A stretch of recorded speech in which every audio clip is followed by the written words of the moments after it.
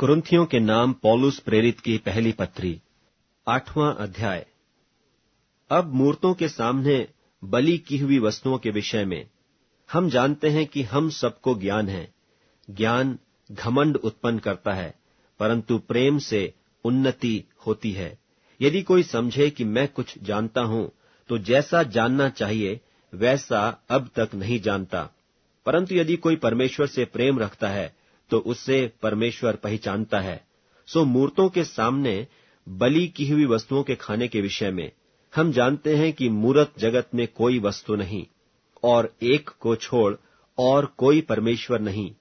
यद्यपि आकाश में और पृथ्वी पर बहुत से ईश्वर कहलाते हैं, जैसा कि बहुत से ईश्वर और बहुत से प्रभु हैं तो भी हमारे निकट तो एक ही परमेश्वर है, अर्थात पिता जिसकी ओर से सब वस्तुएँ हैं। और हम उसी के लिए हैं और एक ही प्रभु है, अर्थात यीशु मसीह, जिसके द्वारा सब वस्तुएँ हुई, और हम भी उसी के द्वारा हैं।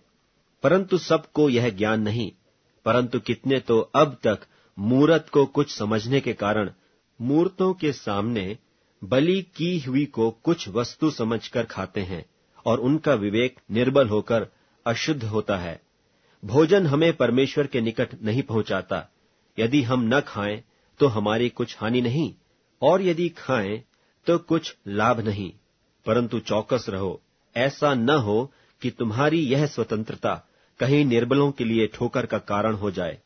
क्योंकि यदि कोई तुझ ज्ञानी को मूरत के मंदिर में भोजन करते देखे, और वह निर्बल जन हो तो क्या उसके विवेक में मूरत के सामने बलि की हुई वस्तु के खाने का हियाव न हो जाएगा?